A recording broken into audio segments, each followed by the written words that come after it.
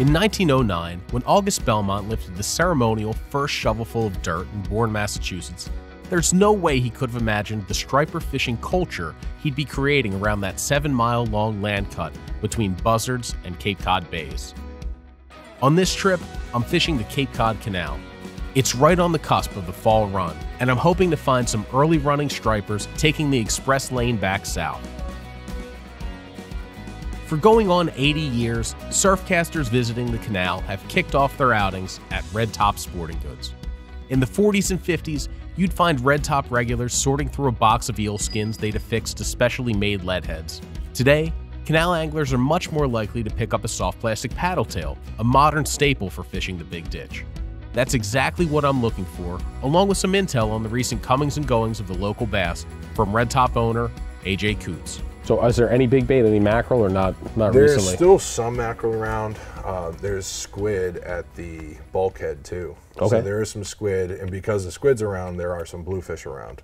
okay. Bluefish have been wreaking havoc on the soft plastics. good for you. Oh, it's good for business. it's good for business. Um, yeah, I mean, we love bluefish, but a lot of guys, when they're down there jigging, they're so used to jigging the, the savages, the gags, all, Yeah. all, all those soft plastics with a lead head. Um, they don't think of it. Uh, the bluefish comes, bites right behind the hook, bites their tail off, and then they'll switch over to a metal. Yeah. So they're still going to jig, or a bucktail. You know, they're still going to jig, Something that's going to stand up to the blues. but it'll hold up to the teeth. That's right. So All right, so we're going out this afternoon, and then tomorrow morning at first light. What part of the canal would you recommend? Yeah, I would definitely hang out towards the east end, middle to east, but probably more towards the east. Okay. Um, anywhere from Pips probably to the to the fish pier is a pretty safe bet right now.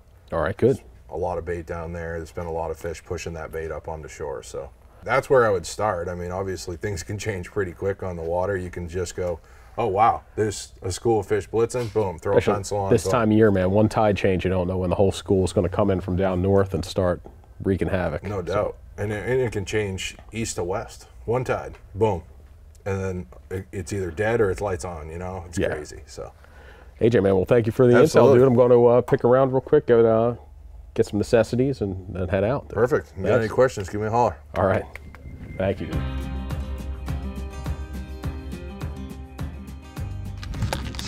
So as we were saying in Red Top, it's the end of the summer, beginning of the fall. We just had the full moon. Full moon was last night, and uh, this is pretty much the start of the fall run for us here. It's kind of starts out as kind of a walk, and then things will really pick up. We've got northeast wind, a storm coming through. Feels like things are about to break wide open. I know today they had a decent amount of fish. This morning, uh, they had a decent amount of fish in the east end. So if you're going to look at the map of the canal, it's divided into three parts by the two bridges, by the Bourne and the Sagamore Bridge. Everything west of the Bourne Bridge is called the west end, everything between them is the middle, everything east of the Sagamore is the east end. Right now, the east end's been hot, and a lot of that is just because of the time of year. We've got all these fish coming down from Cape Cod Bay, from Boston, from the South Shore, from Maine. They're going to funnel in the first place they hit when they take that shortcut through the canal is the east end. So we're starting to see some fish trickle in, starting to see some peanut bunker moving through, and um, you know, we're going to try it this afternoon and then get back out there first light tomorrow. But right now I'm just adding some of my new additions to the, the tackle box based on what AJ said. I want to pick up a couple more things just to make sure I have everything I need. One nice thing about the canal is that you have your bike with you so you don't have to be too selective. I don't care if my bag weighs 20, 30 pounds because it's not going to be on my shoulder the whole time. I'm going to be carrying it in the bike and then placing the rocks behind me. Way different than if you're wading into the surf and you have to have that bag on you at all times. My recommended lures from Red Top to add to tackle box. Little restocking on the paddle tails. This happens to be a Fish Lab paddle tail. They all have a similar setup where they have the, the jig head that meshes perfectly into the body, slim profile, and then that paddle boot tail is going to kick as you retrieve it.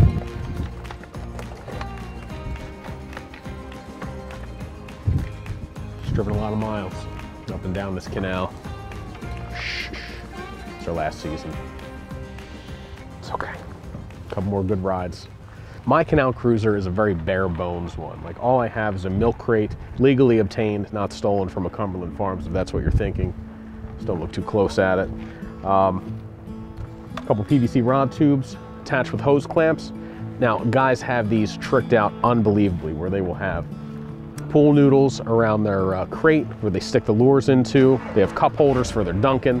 There's so much stuff you can do with a Canal Cruiser. This one, she's giving me all she's got to see the condition of this bike. It sees a lot of salt, gets wet, it's out in the elements all the time. I just buy them used. Um, I bought this one from, think, Canal Cruisers up in Buzzards Bay a few years ago. But I do think I'm going to upgrade to uh, one of those e-bikes. There's a lot of benefits to those for fishing. But for now, we're going to do it the old-fashioned way with the old trusty Rusty right here. The canal fisherman's preferred mode of transportation is a rod holder and milk crate fitted bike known locally as a canal cruiser. These bikes allow fishermen to load up their gear and cover the nearly 7 miles of service road without taking their eyes off the water. When the fishing is good, that bike comes in handy for playing leapfrog with the schools of stripers moving through with the tide. When it's slower, it helps cover ground quickly to find where the bass might be hunkered down. Looks good.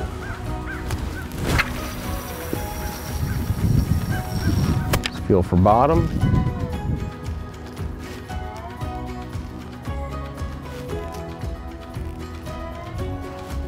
So under most circumstances, this reel right here, a Shimano Stella 14,000, would be ridiculous overkill for striped bass. But if you regularly fish the canal, you're fishing big weights, you've got big current, and it just wears and tears on the gears of these reels. So when you, you that's why you see a lot of guys using these tuna grade spinning reels in order to, otherwise you're constantly servicing them. And the other nice thing about this, the uh, Stella 14,000 is that it takes up 54 inches of line with each crank. So after I'm jigging, done jigging, I can rip that, that in really quick. If you're fishing a pencil popper, see fish breaking, you can get it in there real fast. So the faster retrieve speed is a real kind of benefit here. At night in the surf, I love my Van Staals. I love going a little bit slower. Those only have like, I think the 200 is 36 Takes in 36 inches per crank, perfect for working needle and things like that.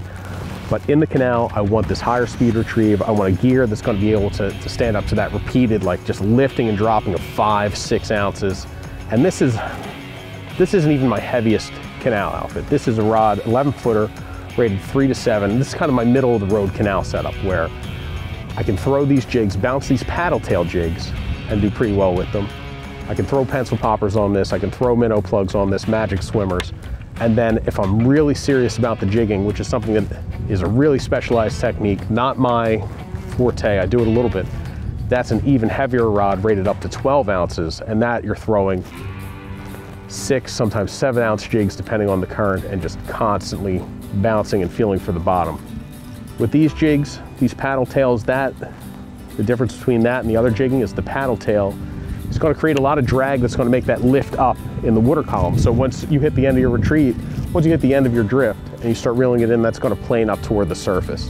So if you wanted to stay on the bottom, you would ditch the paddle tail, go for a straight tail jig, and that'll be easier to, to keep down deep. But in this situation, looking for fish, looking for peanut bunker, this paddle tail's got a little bit more added attraction. If I was fishing structure as opposed to looking for schools of fish, I was going to bounce it into a hole, I would want a paddle tail or a, straight tail or a bucktail jig. But I've got this Fish Lab Mad Eel to throw here and see. We can pick some fish on the end of the west this afternoon, and then we'll be back here for the east tomorrow. Now for line on this setup, I've got 40 pound test, even though everything, you know, there's big fish, tons of rocks, heavy current, I like the smaller diameter 40 pound test over 50 or, or 65 or 80 um, for that extra casting distance. I know guys who on their pencil popper rods will throw as light as 20 or mainly uh, 30 pound test because that can be a situation when you're topwater fishing, that distance can be essential. Getting So taking every advantage you can get. This is 40 pound test, Seaguar TactX. That's their four strand braided line. Um, and that has a little bit better abrasion resistance than those smoother eight strand braids. So even though I might be able to cast a little bit further with an eight strand braid like the Smackdown, the four strand braid is going to give me extra abrasion resistance. And if you just look at the ground here, all these rocks are covered in mussels. That's going to be, uh, you want every bit of abrasion resistance you can get. Um, I have my leader attached with an FG knot. I've got about eight feet of 50 pound test Seaguar inshore. And then that ends in a tactical angler's uh, power clip.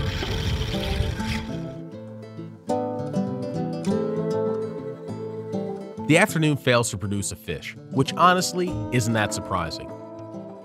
While there is sometimes good sunset fishing at the canal, almost always sunrise brings the best action.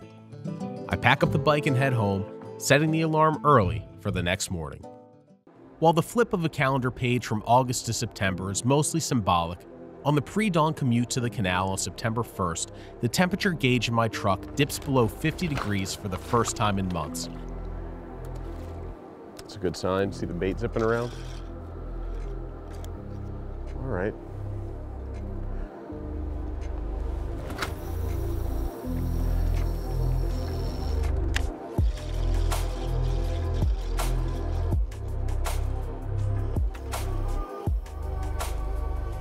Felt like an early taste of autumn, and I was hopeful that the fish would react to it. Current's picking up speed, the bait's here. Just need the bass to wake up. You usually want to do this around what's called breaking tides, which is what we have right now. And that's when you have the tide switching from west to east, and that coincides with first light. In general, that's when you have your best shot at seeing surface action, as opposed to when you have the higher tide.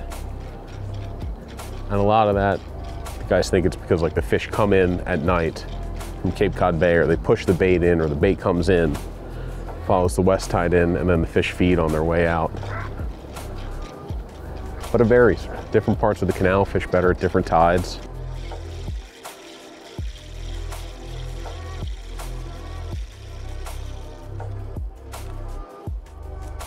Felt like you had to start with a pencil popper. You know, unless you see the fish on top, they're doing most of their feeding closer to the bottom. So even though I'd rather catch them on top water, I'll switch to a jig and I'd rather catch them.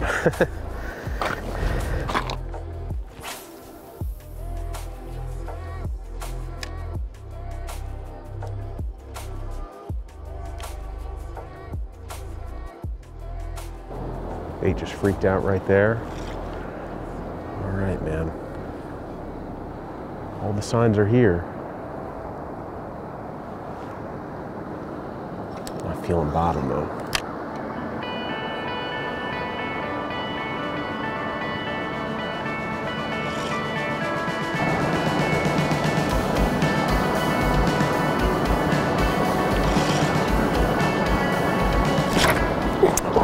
Good, good, it's good. Might be small fish maybe missing it. Usually a bigger one doesn't.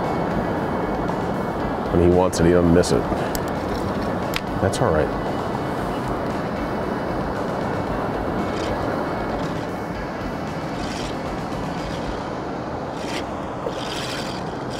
There we go.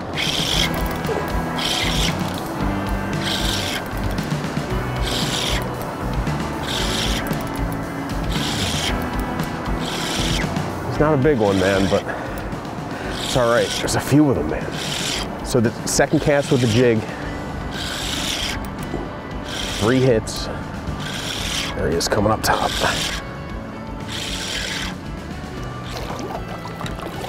All right, buddy. Just a little guy.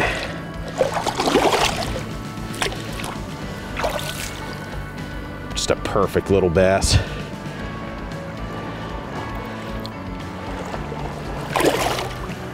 All right, good things.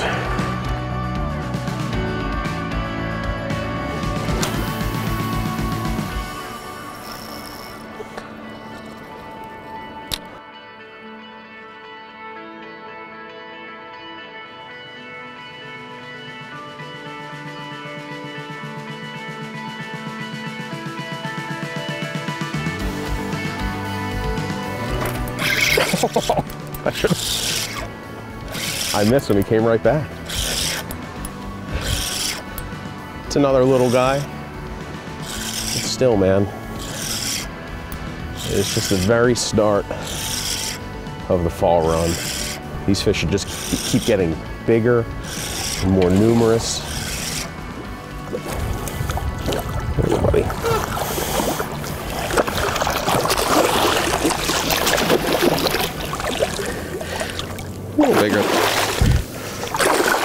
Bigger. Than the last one.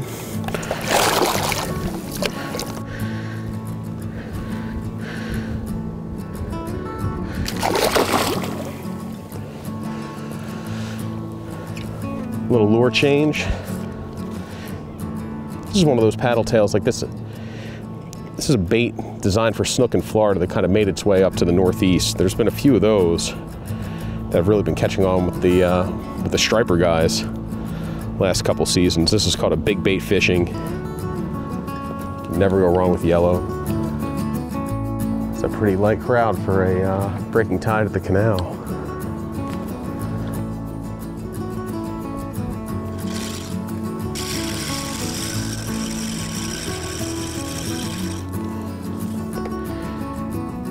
Classic Savage Sand Eel. Let's go with this one. A little bit smaller profile, heavier head.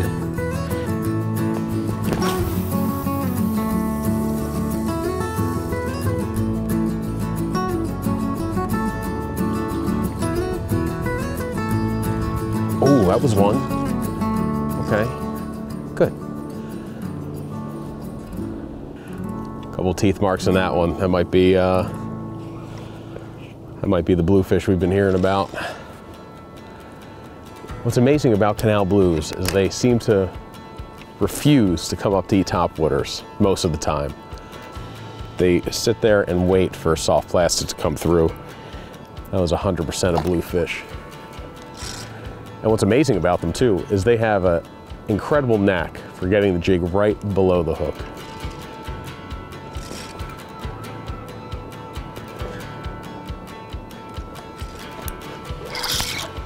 There we go. Now we'll see, this is the same exact spot where I just had that bluefish bite it. There's a similar bite. Doesn't feel like a blue though. Oh, maybe. A little more pull to it. Maybe it is a bigger blue.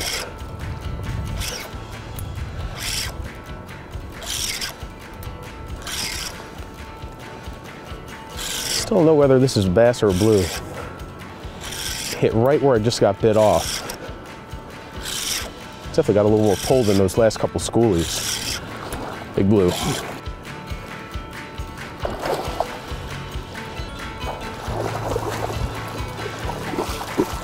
Was talking about how, with AJ yesterday, about how these guys are very good for business. That, that's a pretty healthy bluefish.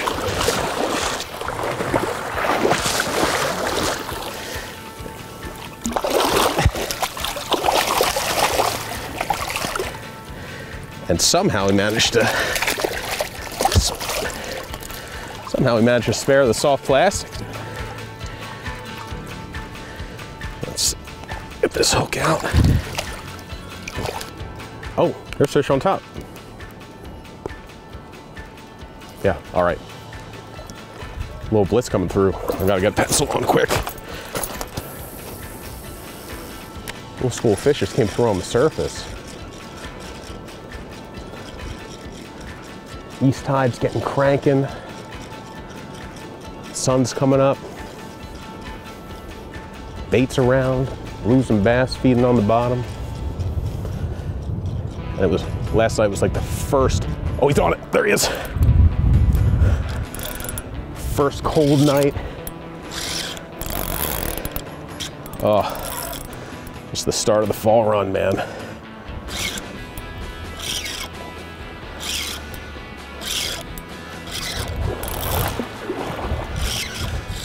See, I literally just cut back that leader. And this isn't a monster fish, but he's a little bit better. He's uh, big enough that if I still had that damaged leader and was fishing it, I'd be puckered a little bit right now, but there's some bigger bait there. Oh, shit, did you see that? What? Look, it's swim across your feet. Was that what that was? Yeah. There was one right on the, I saw, I, I thought there was a bait fish. Dude, that was it. That was like literally the same size blue you just caught. Oh, really? Across your toes. I've been seeing some bigger stuff waking in close. This guy hit at the very end of the cast. That's a really big blue.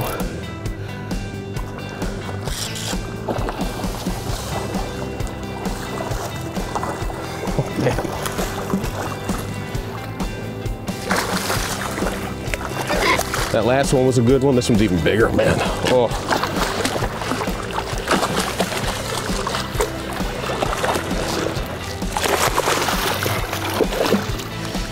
Just vicious, vicious fish. Whoop.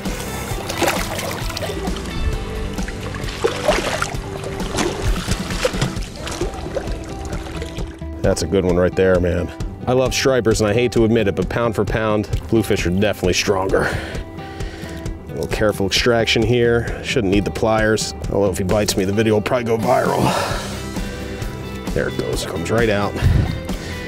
Big blue, man. I think I just got finished saying how they only seem to eat soft plastics in here, and then here's a big one comes up, eats a pencil. Gorgeous.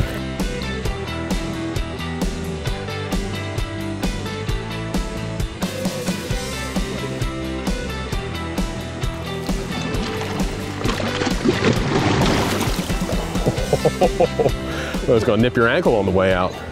Yeah, I felt his belly across my toe. Dude's fighting one there. Man, it's coming alive. It's absolutely coming alive right now. There's more fish on top. Oh, little target, target practice. A little behind him and a little short. We'll see, maybe it's close enough. Come on. He's, is he behind it? No.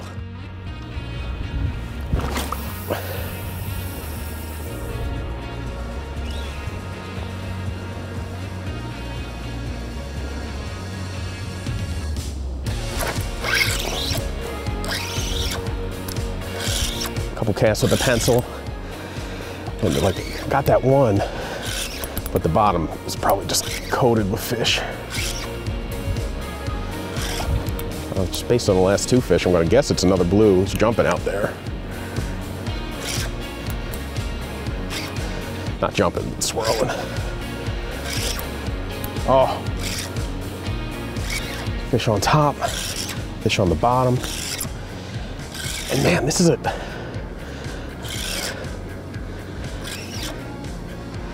it's not crowded right now. And it's just because the reports haven't been great. This is, this is a bass, I think. All right, man. Just a mix of bass and blues, dude. Just classic fall run fishing.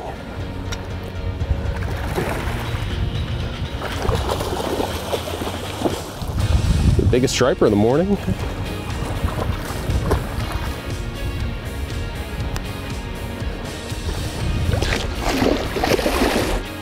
Funny, I switched to this, the Z-Man plastic thinking uh, it would stand up to the blues a little bit better, and then I, uh, you know, best bass of the morning eats it.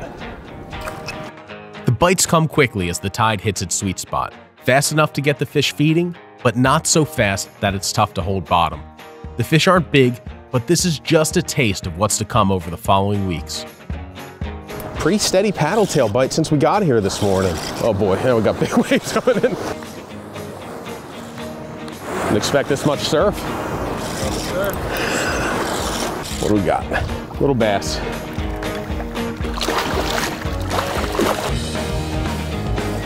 We got it. It survived.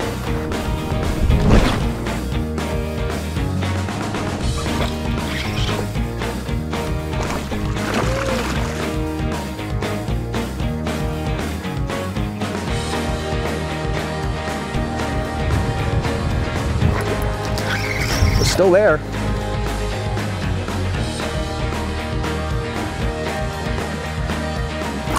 Seems to be a lot of fish this size today. This has bluefish written all over it, I think. They're almost parallel with the bank, just retrieving it in. One had a little more fight for his size. Kind of a funky stripe pattern on him. Is it on both sides? Look at that. Stripes get scrambled a little bit, right?